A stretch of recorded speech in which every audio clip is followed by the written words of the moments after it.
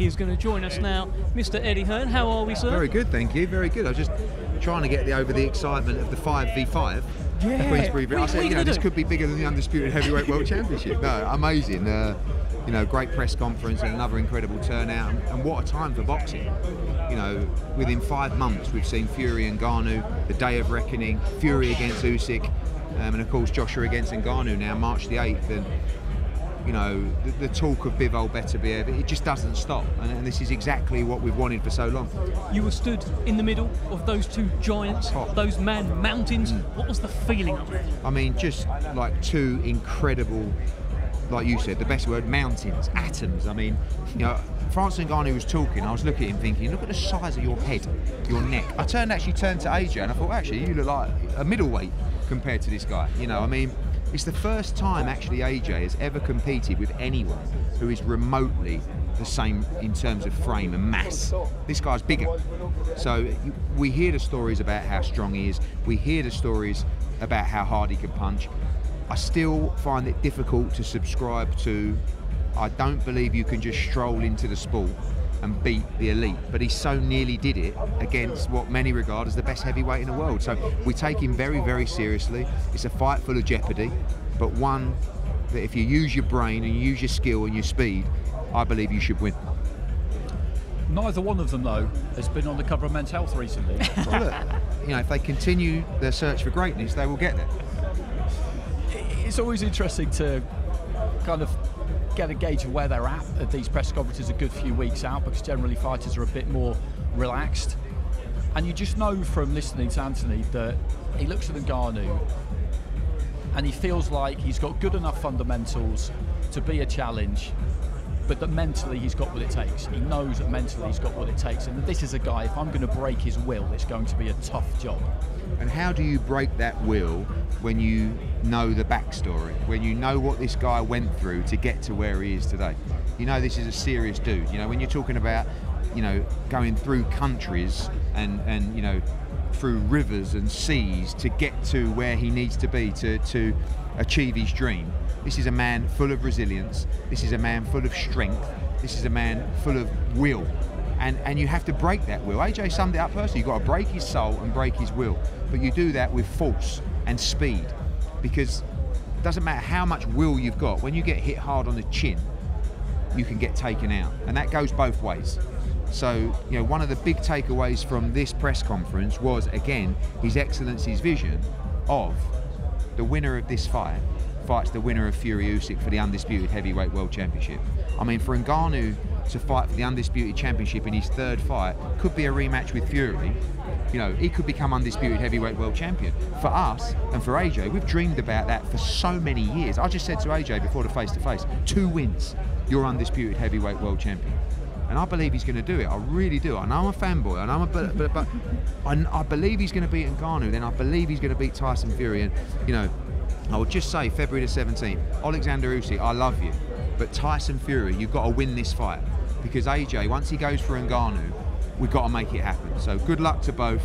But this is what I see, and you know the vision that is ex- like how exciting is that for boxing that we've got a path and we've got this plan for just brilliant fights in the division. But you've got to be careful, Eddie. I mean, time. you can't look past this guy. You were meant to meant to fight Deontay Wilder, Yeah. not you. Uh, I'd love to see Yeah, that. yeah, I. Anthony Joshua against Deontay Wilder was meant to happen. So he was the biggest puncher in boxing. He's now fighting the biggest puncher in the world. Yeah, and, and I think that really that is the key here, and that's what AJ said. You know, I'm getting excited about undisputed. He says, not for me.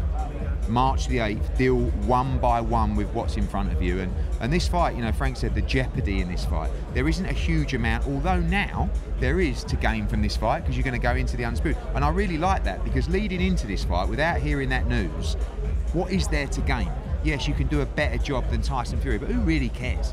Like, we want world heavyweight championships. We want a vision at the end of this story for AJ, and that vision is undisputed. So, if this is what it's going to take to get there, got to deal with it. It's not going to be easy. You know, when you're up in the clinch with this guy, you're going to know about it. And you saw Fury very quickly in this fight decide to just stay out of trouble, stay out of range. And this is a guy in Fury who's got a good chin, and you know, he'll know. And you know, if he beats Alexander Usyk, maybe we'll bring him into camp for the last three weeks to give us a few tips. And that's our headline, by the way, Andy. Do, do, you feel like he's got to the stage of his career now, Anthony, as well, where all of the things that have happened to him can really serve him? Because people talk about, you were talking about jeopardy, and people are talking about Ngannou and what big threat he is and what level and all this kind of stuff.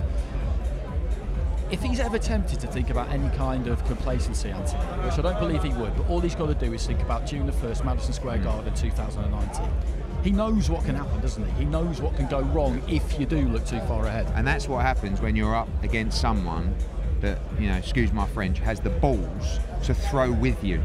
Right? And that's the danger of Francis Ngannou. He will let his hands go when you let your hands go. If you look at the Fury knockdown, he waited, he waited for Fury to throw, and he threw with him. And, and that's what Andy Ruiz did when he was hurt. You've got to be on point at all times against this guy he will be looking to drag you on the inside, bring you into a dogfight, let his hands go. Like you've got to be so precise. But the one thing that I kept seeing in that fight with Tyson Fury is I was waiting for Francis and Ngannou to gas. And I felt like there were times where it could happen, but Fury just didn't force the pace. But when you force the pace, all of a sudden you're bringing in extra danger. AJ can't afford to be too passive in this fight. He's got to be aggressive enough to slow him down, hurt him. That that straight right hand to the body that he threw against Otto Wallin was brutal. You you start sinking those in, you'll quickly run out of fuel. But you know, I'm just just so excited about the fight. And Francis is just one of those guys you look at and you just think, come on, mate, you have to really, really, really, really put you to sleep because you ain't going nowhere unless you're out cold. Yeah, absolutely. Eddie, I've got to ask you the uh, the kind of heading into Fury versus Ngannou. Of course, you were quite vocal in uh, your thoughts about the fight. Uh, I believe Southern Area title was mentioned as well. How are you? Uh, how are you finding all of this now? Well, kind of talking up. When Ngannou. I bumped into him outside, I must admit, I did. You know, I did potentially need a new pair of pants, but like, I still stand by it. I think Francis Ngannou can lose at many different levels of heavyweight boxing. Like, I'm not subscribed to the fact that this guy would beat you know, half of the top 10. He could do, right? But I still think that even at British title level, this guy could get beat. But he could also destroy the opposition at that level because of the assets that he has. So on paper, as we saw in the Fury fight, this should be a relatively straight night's work unless you get chinned. But that's why this division is the only division where someone can stroll in. And someone talked earlier about Floyd Mayweather against Conor McGregor. You could run that a million times. Conor McGregor couldn't win that fight. I love him, but he just couldn't. Right? You run this a million times, you're getting many different results. And, and, and you know, we just hope we get the one we want. Good luck, Eddie. Thank you for joining us, and uh, I'm sure we'll see you in Fight Week. Thank you, Mr. Eddie Hearn.